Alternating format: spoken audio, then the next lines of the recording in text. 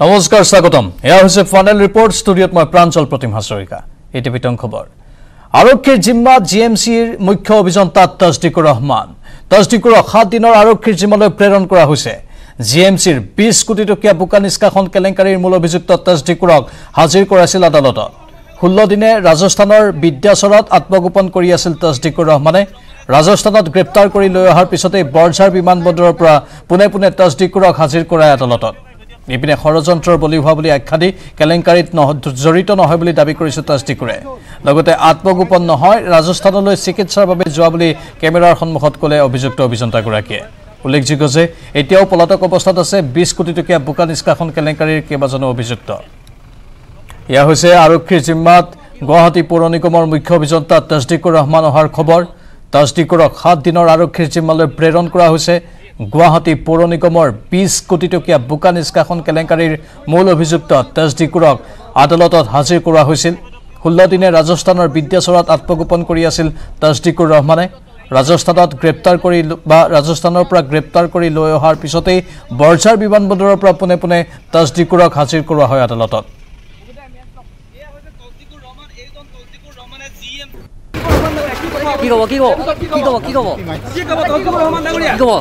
আপুনি কেলেংকাৰী কৰিছিলে নে নকৰিছিলে সেইটো কথা কওক আপুনি। তেন্তে কোনে কৰিছিলে? আপুনি কিয় পলাই আছিলে? আজি C M vigilance case number four oblique twenty টুৱেণ্টিত এজন অন্যতম অভিযুক্ত তছদিকুৰ ৰহমান চিফ ইঞ্জিনিয়াৰ তেওঁ জি এম চি আছিলে। তেখেতক আজি পুলিচে এৰেষ্ট কৰি তেওঁক আজি প্ৰডিউচ কৰিছে আৰু আদালতে তেখেতক সাত দিনৰ পুলিচ হেফাজতত প্ৰেৰণ কৰিছে। সাত দিনৰ পিছত আকৌ চৈধ্য তাৰিখে আহি ইয়াত পুনৰ প্ৰডিউচ কৰিব লাগিব তেখেতক। হয় হয় তেখেতক পলাতক অৱস্থা ৰাজস্থানৰ পৰা এৰেষ্ট কৰি আনিছে তেখেতক। সাত দিনৰ কাৰণে বিচাৰিছিলে কোৰ্টে সাত দিনেই জিম্মাত দিছে তেওঁলোকক পুলিচ জিম্মাত দিছে।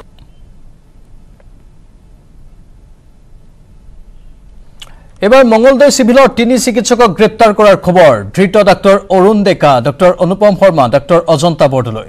ধূলাকাণ্ডত অভিযুক্ত তিনি চিকিৎসক। চি আই ডিয়ে গ্ৰেপ্তাৰ কৰে তিনি চিকিৎসকক। বন কৰা কিশোৰীৰ ভুৱা পষ্টমৰ্টেম ৰিপৰ্ট দিছিল তিনি চিকিৎসকে। ভুৱা মৰণোত্তৰ প্ৰতিবেদনৰ বা সেই প্ৰতিবেদন প্ৰদানৰ বাবে গ্ৰেপ্তাৰ কৰা হৈছে চিকিৎসককেইজনক। গুৱাহাটীলৈ লৈ অহা হৈছে এই তিনি চিকিৎসকক। ধৃত তিনি চিকিৎসকক চি আই ডিয়ে মাৰাথন জেৰা চলাই আছে। পূৰ্বে গ্ৰেপ্তাৰ কৰিছিল ধূলা থানাৰ প্ৰাক্তন অ চি উৎপল বৰাক। এগৰাকী কিশোৰী বন্ধ কৰা হিচাপে আছিল আৰু এজন জোৱানৰ ঘৰত বন্ধ কৰা কিশোৰীগৰাকী হত্যা কৰা হৈছিল কিন্তু সেই হত্যাক আত্মহত্যা ৰূপ দিবলৈ চেষ্টা কৰিছিল আৰু তাৰ পাছতে প্ৰতিক্ৰিয়াৰ সৃষ্টি হ'ল। আৰু এতিয়া মঙলদৈ চিভিলৰ তিনি চিকিৎসকক গ্ৰেপ্তাৰ কৰা হৈছে। তেওঁলোক হৈছে ডাক্তৰ অৰুণ ডেকা ডাক্তৰ অনুপম শৰ্মা আৰু ডাক্তৰ অজন্তা বৰদলৈ। ধূলাকাণ্ডত অভিযুক্ত এই তিনি চিকিৎসক এওঁলোকে পষ্টমৰ্টেমৰ ৰিপৰ্টত বিসংগতি কৰিছিল চি আই ডিয়ে গ্ৰেপ্তাৰ কৰি এই তিনি চিকিৎসকক বন্ধ কৰা কিশোৰীৰ ভুৱা পষ্টমৰ্টেম ৰিপৰ্ট দিছিল এই তিনি চিকিৎসকে। আৰু ভুৱা মৰণোত্তৰ প্ৰতিবেদন প্ৰদানৰ বাবে গ্ৰেপ্তাৰ কৰা হৈছে চিকিৎসককেইজনক। গুৱাহাটীলৈ লৈ অহা হৈছে তিনি চিকিৎসকক। ধৃত তিনি চিকিৎসকক চি আই ডিয়ে মাৰাথন জেৰা চলাই আছে। উল্লেখযোগ্য যে পূৰ্বে গ্ৰেপ্তাৰ কৰা হৈছিল ধূলা থানাৰ প্ৰাক্তন অ চি উৎপল বৰাক। হয় হয় হয়। এইটো আৰু তেওঁলোকৰ মেডিকেল হেৰি ৰিপৰ্টৰ মানে হেৰি আছে। ভুৱাকৈ মেডিকেল ৰিপৰ্ট দিছিল লগে? হয় হয় হয়। ঠিক আছে। কেনি কেনি কাষ্টডি ছাৰ কেনি কাষ্টডি ছাৰ এইটো মই নাজানো মই কোৰ্টে জানিব মই কৰিছে ছাৰ এৰেষ্ট কোনে কৰিছে আয়ো কৰিছে কেছৰ ইনভেষ্টিগেশ্যন কৰিছে। ঠিক আছে হ'ব হ'ব হ'ব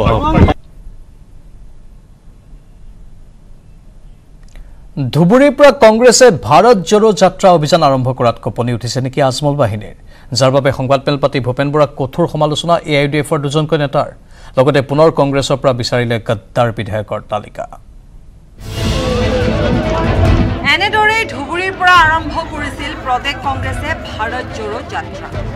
এ আই ডি এফ প্ৰধান বদৰুদ্দিন আজমলৰ দখলত থকা ধুবুৰী লোকসভা সমষ্টিৰ পৰা ভূপেন বৰাৰ নেতৃত্বত কংগ্ৰেছে আৰম্ভ কৰা ভাৰত জোড়ো যাত্ৰাক লৈ এতিয়া সৰব হৈ পৰিছে আজমল আৰু দলটোৰ নেতৃত্ব। আজমলে নিজে এই বিষয়ত সৰব হোৱাৰ এদিন পিছত সুজামুদ্দিন লস্কৰ আৰু নিজামুদ্দিন চৌধুৰীয়ে ভূপেন বৰাৰ বিৰুদ্ধে দেওবাৰে সৰব হৈ উঠিছিল। ইয়াৰ পিছত আজি পুনৰ দলটোৰ দুজনকৈ বিধায়ক তথা সাধাৰণ সম্পাদকে আয়োজন কৰিলে এইখন সংবাদমেল। কৰিমুদ্দিন বৰভূঞা আৰু আমিনুল ইছলামে এই সংবাদমেলক সম্বোধন কৰি ভূপেন বৰা আৰু কংগ্ৰেছক কঠোৰ ভাষাৰে সমালোচনা কৰিলে। আমিনুল ইছলামে ক'লে কংগ্ৰেছে বিজেপিক নহয় এ আই ডি এফকহে টাৰ্গেট কৰি লৈছে। তেখেতসকলৰ যিটো চেষ্টা ইউ ডি এফৰ লগত নেক্সাছ কৰাৰ যিটো চেষ্টা গোটেই বেনিফিটটো বিজেপিক দিবৰ কাৰণে আমাৰ এইজন সভাপতি ভূপেন বৰা ডাঙৰীয়ে প্ৰচেষ্টা চলাই আছে। ইয়াৰ পিছতে বিধায়ক কৰিমুদ্দিন বৰভূঞাই উগ্ৰমূৰ্তি ধৰিলে এ পি চি চিৰ সভাপতি ভূপেন বৰাৰ বিৰুদ্ধে। ৰাষ্ট্ৰপতি নিৰ্বাচনত ক্ৰছ ভোটিং কৰা গাদ্দাৰ বিধায়কৰ হিচাপ দিব নোৱাৰা ভূপেন বৰাক কৰিমুদ্দিনে গাদ্দাৰ আৰু কুলাংগাৰ চৰ্দাৰ আখ্যা দিলে। আজি আপনি প্ৰমাণ কৰে দিছে এই গাদ্দাৰ আৰ কুলাঙ্গাৰৰ সৰ্দাৰ আপনি আপনি গাদ্দাৰ আৰ কুলাঙ্গাৰৰ এজেন্সি আপনি লইছে। লগতে মুখ্যমন্ত্ৰীৰ ইনভেষ্টমেণ্টত ভূপেন বৰা চলি আছে বুলিও কৈ দিলে কৰিমুদ্দিনে অসমৰ ৰাইজে ভালকে গম পাইছে আপনি মুখ্যমন্ত্ৰীৰ ইনভেস্টমেন্ট কৰা এটা বস্তু। লগতে ভূপেন বৰাৰ বিৰুদ্ধে কংগ্ৰেছ হাইকমাণ্ডক অভিযোগ দিছে বুলি কৈ কৰিমুদ্দিনে দাবী কৰিলে যে কম দিনৰ ভিতৰত কংগ্ৰেছ হাইকমাণ্ডে ভূপেন বৰাৰ বিৰুদ্ধে ব্যৱস্থা ল'ব। আৰু আপোনালোকে চাব এই কেইদিনৰ ভিতৰত definitely A I C C কিবা না কিবা এটা একশ্যন ল'ব। বিজু কুমাৰ ডেকাৰ report News Eighteen Assam North East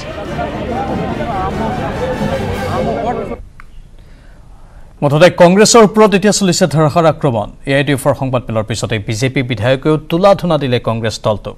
বিধায়ক প্ৰশান্ত ফুকন আৰু ৰূপজ্যোতি কুৰ্মীয়ে দাবী তুলিলে লোকসভা নিৰ্বাচনত টচ টচ হ'ব প্ৰধান বিৰোধী দলটো। বাওঁহাতে চকু বান্ধি লিখি দিম। লোকসভাৰ তেৰটা সমষ্টিতে বিজেপিৰ জয় হ'ব। অসমীয়া খিলঞ্জীয়া লোকে সকলো কথা পাহৰি তেওঁলোকে অকল আমাৰ দেশখনক বচাবৰ কাৰণে অসমীয়া সমাজক অসমখনক বচাবৰ কাৰণে ভাৰতীয় জনতা পাৰ্টীৰ অসম গণপৰিষদ আৰু আমাৰ মিত্ৰজোঁটৰ প্ৰাৰ্থীকে সমৰ্থন জনাই লোকসভাত তেৰটা। আমাৰ জিকাটো নিশ্চিত। সেয়া মই বাঁহতে লিখি দিব পাৰোঁ চকু বান্ধি লিখি দিব পাৰোঁ।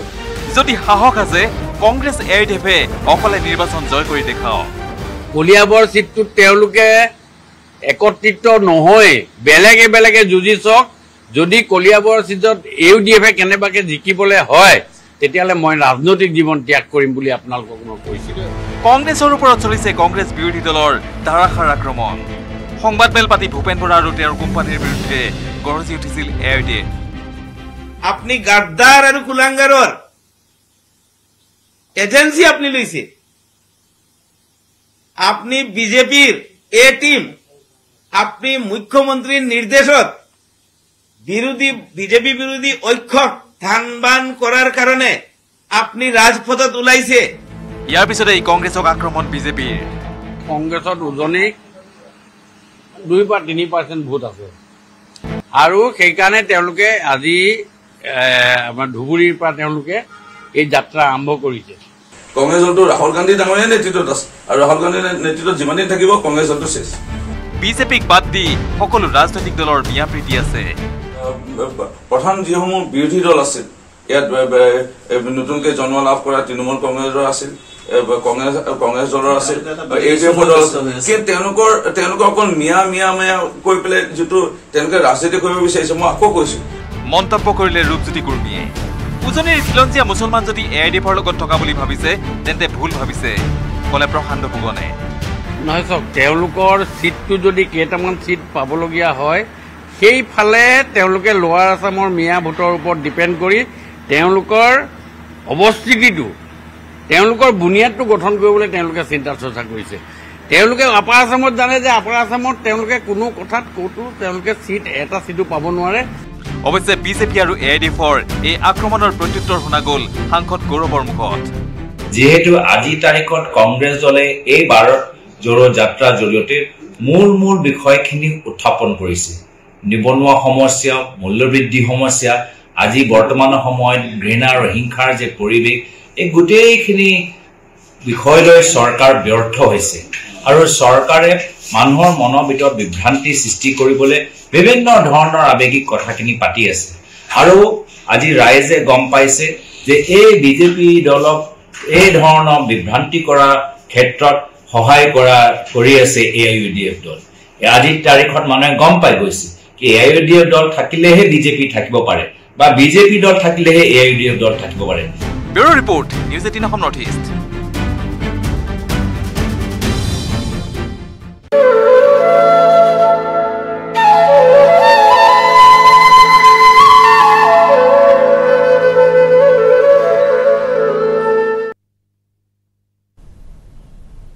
আজিৰে পৰা শ্ৰীকৃষ্ণৰ ৰাস মহোৎসৱ। উজনি নামনিত ৰাসৰ মহা আয়োজন চলিছে। নদীদ্বীপ মাজুলীৰ লগতে প্ৰান্তে প্ৰান্তে ৰাসক লৈ উখল মাখল পৰিৱেশে বিৰাজ কৰি আছে। এফালে যদি আধ্যাত্মিক আনফালে আকৌ কাৰিকৰী কৌশলৰ চমক। ৰাস উপলক্ষে নদীদ্বীপ মাজুলীত ভিৰ কৰিছে দেশী বিদেশী পৰ্যটকে। দৰ্শনাৰ্থীৰ সুবিধাৰ্থে মাজুলীত ৰাসৰ বাবে বিশেষ ফেৰী সেৱাৰ ব্যৱস্থা কৰিছে জিলা প্ৰশাসনে। সমান্তৰালকৈ নামনিৰ কেইবাখনো জিলাত ৰাসৰ মহা আয়োজন পূৰ্বৰ দৰে এইবাৰো নলবাৰী হাউলি পলাশবাৰীৰ ৰাসত দেখা গৈছে কাৰিকৰী কৌশলৰ চমক।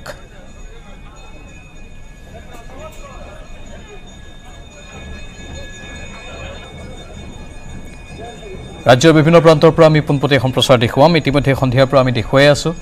আৰু ৰাসৰ এই পৰিৱেশ সঁচাকৈ অনন্য।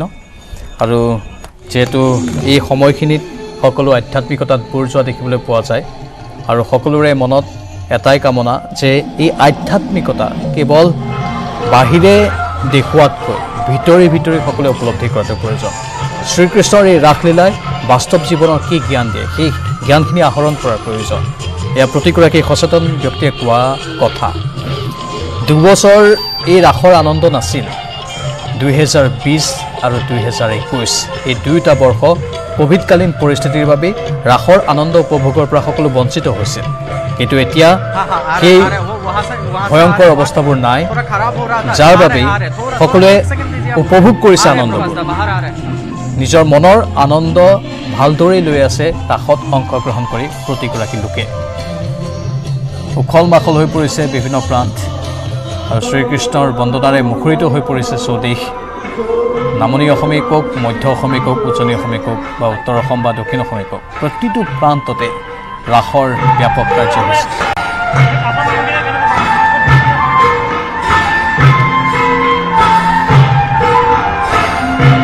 আৰু এয়া মাজুলীৰ পৰা আমি পোনপটীয়া সম্প্ৰচাৰ দেখুৱাই আছোঁ। মঞ্চত শিপিনীসকলে নাচি আছে।